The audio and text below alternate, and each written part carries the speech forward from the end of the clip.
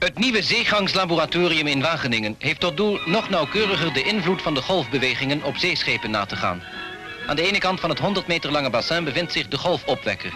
Een installatie bestaande uit 158 platen die in beweging worden gebracht door middel van excentrische wielen. Door deze beweging ontstaan golven. De hoogte van deze golven kan tevoren worden geregeld. Aan de andere zijde van het bassin zorgt een houten strandje ervoor dat de golven niet terugrollen.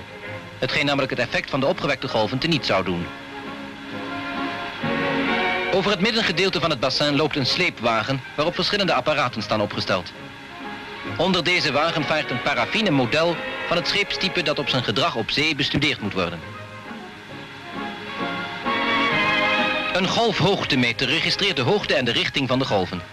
De bewegingen van het scheepsmodel, te weten het dompen, het slingeren en het stampen, die hier, omdat het een model is, sneller zijn dan in werkelijkheid, worden op papier overgebracht, evenals de snelheid en de golfhoogte.